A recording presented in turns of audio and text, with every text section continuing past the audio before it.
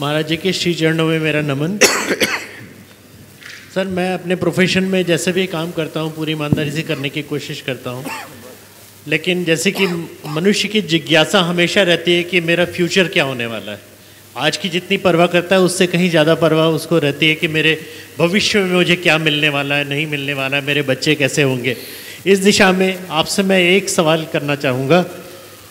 मुझे लगता है कि लोग एस्ट्रोलॉजी की तरफ़ बहुत ज़्यादा ध्यान देते हैं और ये सोचते हैं कि एस्ट्रोलॉजी से मुझे समाधान मिल जाएगा और शायद मेरी दशा अच्छी चल रही है मेरी दशा खराब चल रही है।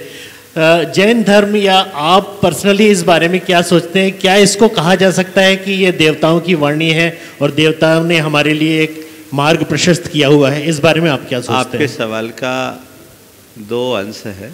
सबसे पहली बात आपने की कि भविष्य की चिंता रहती मैं तो आपकी भाषा में आपसे यही कहूँगा, जिसका निवेश अच्छा है, उसका भविष्य हमेशा अच्छा होता है। समझ गए? हम अच्छा निवेश करें। आप पूंजी के निवेश की बातें सिखाते हो। हम पुण्य के निवेश की बात करते हैं।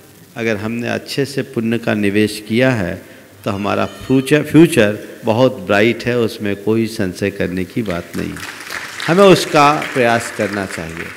दूसरी बात जो आपने की एस्ट्रोलॉजी के संदर्भ में। मैं एक ही वाक्य में आपकी बात का उत्तर देना चाहूँगा। कुछ लोग बार बार किसी पॉमिस्ट के आगे अपने हाथ दिखाते हैं। मैं इतना ही कहता हूँ, भाग्य उनका भी होता है जिनके हाथ नहीं होते। भाग्य उनका भी होता है जिनके हाथ नहीं होते। इसलिए इसको लेकर के बहुत ज़्यादा विचार नहीं करना चाहिए। ज्योतिषी के पास वे लोग जाते हैं जिनका आत्मविश्वास कमज़ोर होता है और जो अंधविश्वासों में फंसते हैं। एक चोर अपना भविष्य पूछेगा तो क्या होगा? हवालात और क्या होगा? अगर मैं अच्छा कर्म करूँगा तो मुझे अच्छा परिणाम मिलेगा।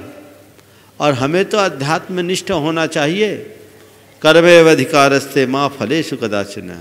मेरा काम है निष्ठापूर्वक, ईमानदारी से कर्म करना। फल जो मिले, प्रभु इच्छा मान करके स्वीकार कर लेना। अच्छा है तो और बुरा है तो। और ज्योतिषी क्या मेरे भाग्य को सुधारेगा?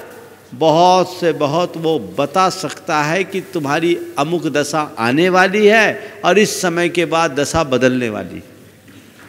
लेकिन खुद की दशा भी वो देख ले।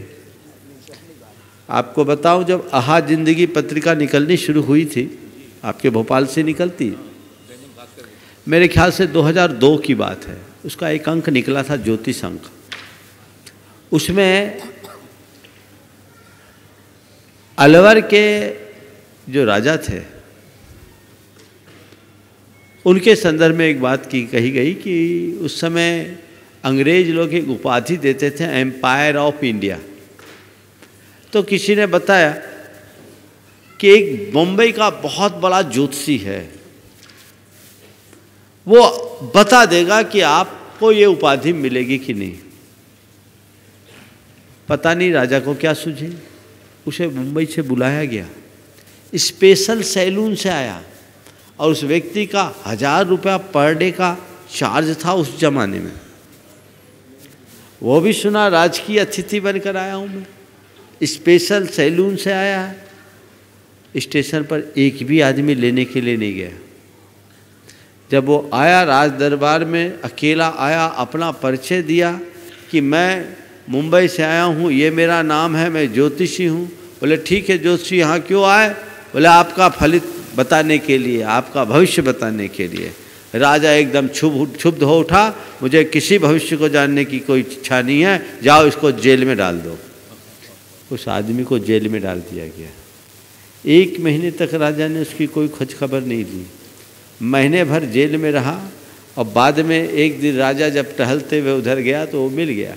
पूछा, आप यहाँ किस अपराध में आए? बोले, मुझे पता नहीं। बोले, आए क्यों थे? बोले, आपका भविष्य बताने के लिए आया था, पर मुझे जेल में भेज दिया गया। राजा ने कहा, भैया, मेरा भविष्य बताने तुम आए। खुद का भविष्य क्यों नहीं देख के आए कि मुझे जेल हो जाएगी?